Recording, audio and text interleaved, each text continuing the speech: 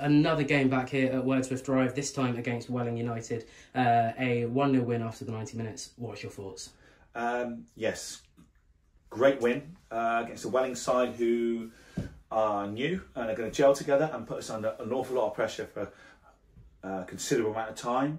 Um, frustrated in some of the things we did today.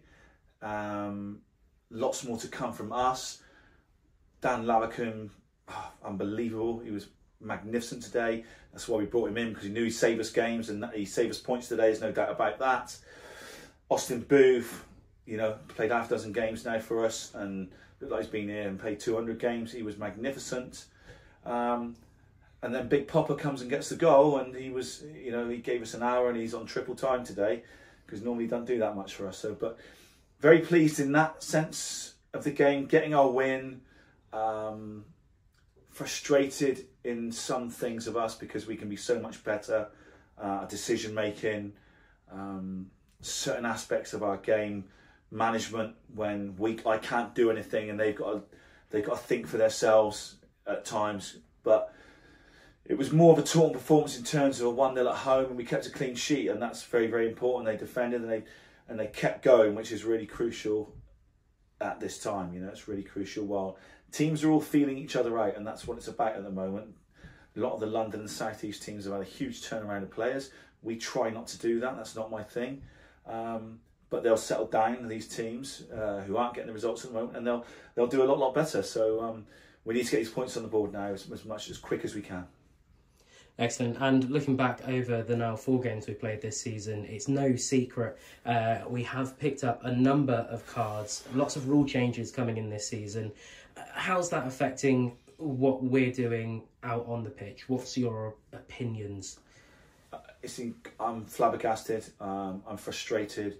The players are frustrated. The rest of my staff are frustrated and flabbergasted. Um, I understand they have a job to do, but they're not doing their job properly. Um, as a rule, right through today included. Uh, you know, there wasn't a bad foul in the game, and we end up with another five or six bookings. I think we've had ten in two games. I've been booked twice. Um, inconsistency I don't know. I, I, think these rules and these new law changes, unless they're grasped very quickly by people, whether it's us off the on the pitch or off the pitch, um, this is killing the game. It's making it very, very difficult to manage because we are going to have a number of suspensions um, a lot sooner than we thought. You know, and for, for for stuff which is just trivial. And at the start, the first thing he said, "We're going to have common sense today." Magnificent. Two minutes in, common sense has gone you, you can't talk to them anymore. Um, everybody's got to be accountable in football. I'm accountable. I'm accountable to the club, to my fans, to you, to the team. Officials can come and not be accountable. They can play. They can be terrible and doesn't mean a thing. Doesn't mean a thing. Pick your money up and go home. And I don't normally like to get stuck into officials, so I think they're an incredibly difficult job. I don't think the governing bodies are helping them in terms of not being consed up at this level because they need to be. They need to be talking to each other, and I think that would get away with that would uh, get rid of a lot of the consternation and um, assistant referees can be able to talk to benches and talk to people and tell them why and how and where. They need that. They need help. This isn't helping them. This is making the chasm, the gulf between governing bodies, clubs, players, managers, referees even bigger. And that's that's worries me. That worries me. It makes it unenjoyable. It makes it unenjoyable. But there you go. That's my one for the year on referees. That's your one for the year, and we got it in early. That's a good. yeah. shame. I always Four look games, forward to that. Worrying. But uh, there we go. We'll look forward to the next game then. We've got uh, almost a week off, no, midweek, uh, and St Albans City at home. What's your thoughts? What are we going to do this week? Well, I thought prepare? they were one of the best sides we played last year. Very, very good technically, caused us all sorts of problems um, that we had to solve on the pitch.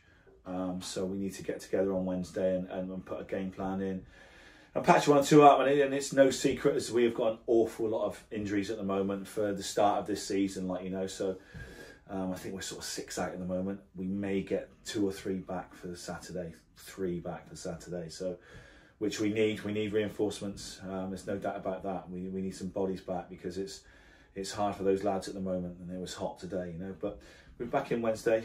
We'll train hard, and we'll um, again another another home game, you know, and we'll and we'll just keep building. We'll just little increments, keep building, keep building, keep building. And that's what we're trying to do. We're still very much the small club in this league, only one season in. Um, so we realise it's a it's a massive task for us to, to keep keep us in this, but it's where we all want to be. We want to be playing these teams. So yeah, looking forward to it now. This one's gone. We go again. Absolutely. And uh, just a quick touch on today, there was around, I think, 722, something like that, uh, in attendance, which seems like quite a big crowd for this time of year, normally with people being on holidays. What edge does having a big home crowd give Massive. to the lads on the Massive. pitch? It's huge. It's huge. Um, when, when everybody's noisy, uh, they suck the ball in. You know, when we're attacking the top end, especially in the second half, it's huge. It's absolutely huge. It's a selling point for me. You know, when I'm trying to get players in, look, we get eight, nine hundred, a thousand every week. You know, and and they're passionate, and we we need them. We need them more than ever now. You know, more people coming from the gate, more money the chairman's going to give me to get better players in. It's just simple rule of thumb. That's all it is. So keep coming. Simple as that. Sun was shining today. Loads of kids there. It was, it was great. It's good to see them. Excellent. Well, Rob, thanks very much for your time as always. We'll see you next week. Thank you, mate.